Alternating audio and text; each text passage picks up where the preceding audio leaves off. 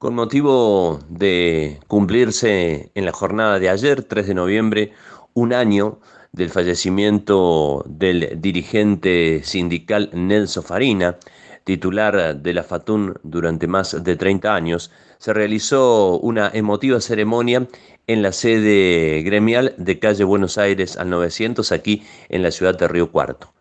con la presencia del actual titular de la Federación Argentina de Trabajadores de Universidades Nacionales, Walter Merkis, se procedió al descubrimiento de una placa recordatoria, precisamente por la trayectoria y por todo lo realizado por Farina durante estos años en favor del colectivo de trabajadores no docentes de universidades públicas argentinas a lo largo y a lo ancho de todo el territorio nacional. En esta emotiva ceremonia estuvieron presentes demás representantes de la Mesa Nacional de la FATUN, como así también, por supuesto, el encuentro se caracterizó por la significativa participación y presencia de la esposa e hijos de Nelson Farina, como así también de integrantes de la comisión directiva local de la ATURC, la asociación que en Río Cuarto congrega a los trabajadores no docentes de la Universidad